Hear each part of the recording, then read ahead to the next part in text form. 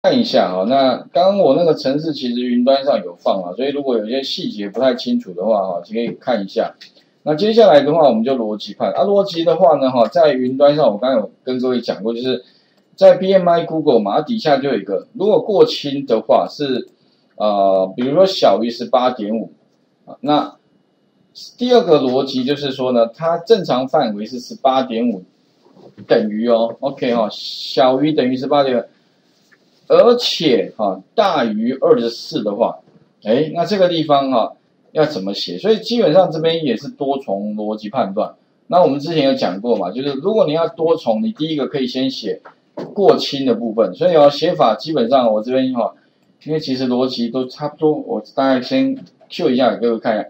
第一个呢，如果什么呢？哎，它的 BMI 就这个值小于十八点五的话。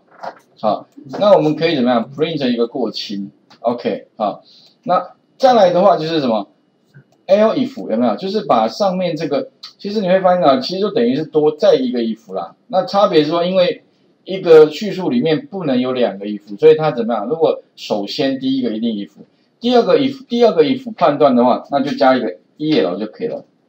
哦，哎，再来就其次，这有点像其次。首先，其次呢？那它的逻辑是在 BMI 怎么样？它是大于等于十八点五，而且什么呢？小于二十四。哎，这个地方会有个 and 的逻辑判断。好，不过哈，特别注意哦，除了这种写法 and 的写法之外，哈，另外还有一种写法，你可以怎么样呢？可以有点像哈，我们云这个网页上看到的，就是你可以把 BMI 放中间。啊，不过我是个人。比较习惯写这样了，因为这样感觉比较接近口啊。如果说你今天不写成这样哦，你还有几第一个，你可以把 BMI 什么 end 不要了哈，然后这个这个可以把它放到哪里？这边把它放到这边来，然后这个 BMI 可以不要，就是呃十八点五小于等于 BMI，呃，这应该换个方向，应该什么？小于等于十八，就是 BMI 怎么样？它小于等于十八点五，而且呢，不我看啊大于啊，跟你讲大于十八点五，然后小于二十四，这样的叙述方法也可以哦。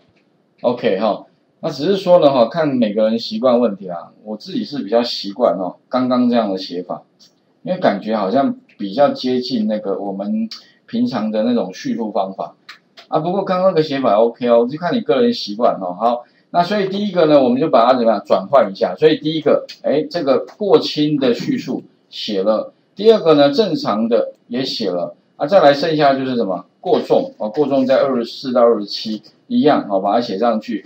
那轻度，OK，写上去。然后重度啊，中度，然后在重度的话就是 else，就是剩下除此之外的啊，就是等于是在这个范围之外哈，那都算是。重度肥胖，所以我就加一个 else 就可以了。OK，好，然后呢，再来的话，我把它 print。不过会有个问题哦，我希望呢，最后的结果哦，可以看到呢，就是前面再加帮我加两个字，叫做评语冒号。好，不过这边的话，如果说我今天哈，假如说要在每一个前面都加评语冒号的话，感觉好像重复了。比如我这边就加一个什么评语冒号，当然你可以这样啊，评啊评语。然后冒号，但问题啊，你变成什么样？你这边要复制，这边要贴贴贴贴贴，感觉好像有点多多余了。可是问题来了，如果你不加这个评语冒号的话，但问题你要加在哪里呢？OK 哈，比如我现在现在怎么样把它 print 出去的话，但目前哦，好，刚这个复制过期哦，把这个先先把它剪下。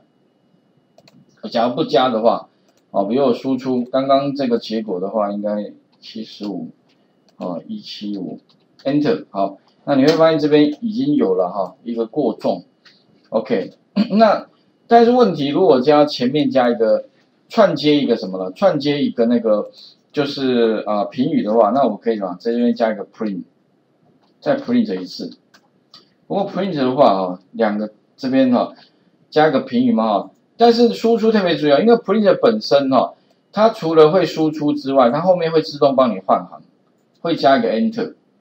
哎，所以这样子的话，我假设我输出的话，像刚刚在这个地方加在这边哈，它会有个问题，就是什么？它会在这边呢加一个换行，那就变变这样子，哎，评语冒号，然后过重，所以哈特别重要。如果说我希望哈，或者是说你干脆加在加在这啊，如果你要把那个后面这个换行吃掉的话，记得哈在。啊，那个 print 后面呢，你可以加一个叙述，就是叫 end，end 等于什么呢？没有，意思就是说，哎，帮我把那个后面那个换行哦，帮我去掉的意思。好，后面那个换行去掉。哦。如果像这样的话，哎，把它执行，那理论上应该这样子输出哈，看一下应该就 OK 了。哎，没问题。但是问题来了哈，因为想说，因为程式永远感觉没有写完一点。那你看这边一行，哎，这边一行，你不如怎么样呢？你干脆把这个怎么样？这一行搬到哪里？哎，如果我希望把它干脆搬到这边后面算了，把这个评语放到这边来，那这一行其实就可以不要了。OK，可是问题来了，如果你现在摆在这边的话哈，它会变成怎么样？它会接在后面，所以你假设我我这边把它摆那个评语冒号的话，它会变这样，哎。有没有变成说它串在后面？要怎么办呢？还有一个方法，反斜线 n。哎，刚刚有一个看到那个脱衣资源里面啊，如果你要在字串里面换行的话，那你可以加一个反斜线啊。这样的话呢，它就怎么样？它就会自动帮我把这边哈，哎，加一个换行。OK，哎，哎，不过问题又来了哦，就是刚刚那个问题啊，怎么办？一样。你可以在这个后面哈，再补一个，就变成说这个 print 本身的后面加一个 end 等于没有，这样就 OK 哦。end 等于没有就是这个换行不要哦。那我们把它执行一下，理论上应该这样就 OK 了哦。所以最后我希望看到的结果了哈，可能就要长得像这样子。哦啊，不过像这种格式哦，有的时候当然没有标准答案，只是说。你可以好几个 print，但是我希望程式不要太复杂，有些不需要的东西你不要说啊加了一大堆哦，所以最后做出来会是这样子，它就是输出有没有？然后把你的那个 BMI 放进来，最后那个换行拿掉，哦啊，请各位试一下，好了，画面先还给各位哈。老师，哎是。那个你知道取消那快捷键是？哦。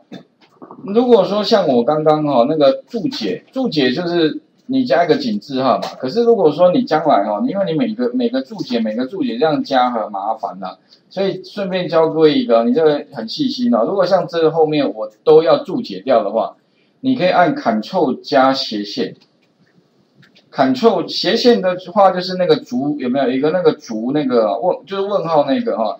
然后如果说你要再把整个再注解取消的话。